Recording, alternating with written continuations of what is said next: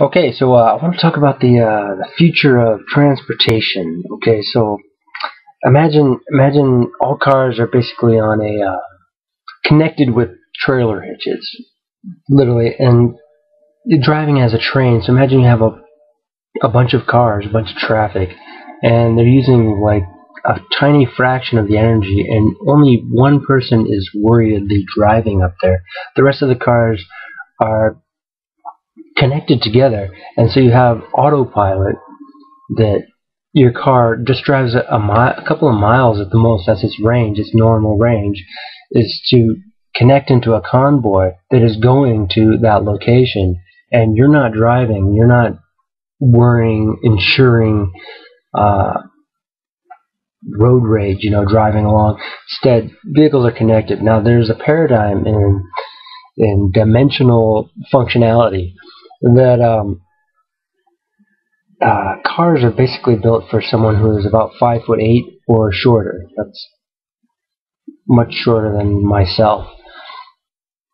And so, without that functionality, uh, there's there are cultural cop outs because some cultures esteem and in fact are taller and if you cannot fit through the door but other people can there's you have like a traffic jam of uh, confusion. And confusion is bad. So so imagine you basically have these vehicles that are all the same. They're basically like a box just like a train. That actually connect together and in that connected form, they're highly aerodynamic. The rest of the time, you're not going the distance, so to speak. You're just you, everything is in that vehicle, and that vehicle is quantified uh, information-wise, where you can you can say, okay, who's who's driving down the road, you know, and then there's a slight bit of uh, randomness that is both uh, in built into the the navigation system. So you say, I'm going to that location at that time, but it's not so easy that someone can say, there he is, you know. not quite not quite that perfect, but on a deeper level, much more perfect. So imagine you have a, a fil uh, sediment of filters at the top. You have all those big rocks, and that's like your daily bread or something like that. And down at the bottom there, are these little gold nuggets. These gold nuggets have to be transported to the bank, so to speak, or else they're going to be lost dust in the wind. So you have to have you have to have this um, constantly pushing it along. You know, moving along, keep going.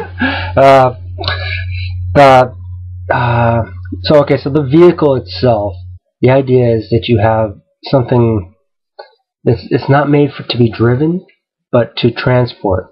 So you have this box and you go inside of it and you're not driving, you're facing the inside. So like a train, you have your seats facing each other so people can actually talk.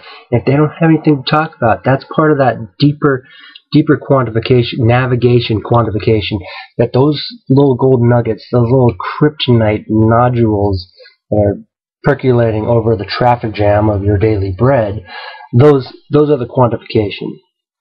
And those transported become membranes of other uh, geographic paradigms. They, and this is really that's very fundamental. I, I hope you guys are getting a lot of this on that, this on that, you know. So this world moving along, you know, oh, you you want to be happy, but road rage is just this horrible thing, and it's the same thing as fuel consumption. I mean, the more gasoline we consume, the more the more uh, more angry, the more confused and lo lost we are. You know, people aren't people can't even uh, look up like this a lot of times. I see the the um, I see the frame of of the vehicle if I sit up straight because you know that is the truth. Okay, if I slouch down, you know, okay, now I can see. You can't see me. Uh, so it's a uh, functionality. So I go a little deep here. Uh, I checked out my horoscope and uh, oh excuse me Rice Krispies. Uh, there's a there's a connection to uh, Henry Ford. Now someone said, "Oh, he's a Nazi," and no, industrial um, industrialist without the navigation. So he simply said, "Go out and drive, drive, drive, everyone. Now you have a car." But the destination is this very contentious reality, and it's also highly functional once you have the tech the technology of navigation that says, okay, dial it in, and then you don't need that that sleek tank. Suddenly, you can have um, more of a habitat that's uh, de- demand it depicts functionality, and then that that lens, that bu- that spherical bubble, um, hardened dome, if you will, of destination. So where you are. So I, am mixing. I'm definitely mixing the, the the the box and the shipping process. Uh, you know, how does Santa Claus know where to deliver your gifts, right?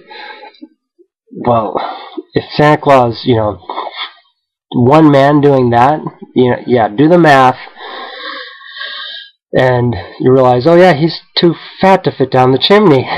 So you have to you have to make the chimney bigger. Put a little elevator in there for Christ's sakes, you know. Uh, and that's that's the idea. Is this flow, and at the bottom is all the gold, right? We all the smoke, all the road rage is coming up the chimney, and we expect somehow someone to magically come down that chimney like a sack of gold, and uh, and be where it's supposed to be. So that's you know, how does it fit? You know, all these, these paradigmical questions uh, that you can um, um, that so the equation is that you, you manufacture vehicles that are of a single component that are like one door and you simply have a dozen of these doors and you say oh well that's not going to be aerodynamic or stylish it's going to be stylish on the inside because I'm going to be there Okay, you're going to be there. That's the style, the reflection from within that membrane of destination, that destiny moment of the vehicle that's actually functioning to to do the complete sort of uh, peaceful mission objective location by by box. You know, you're you're going down the chimney, uh, and and you want to fit, right? You want to fit. You don't want to like have to duck and be like, oh well, uh, can you see me now? You know.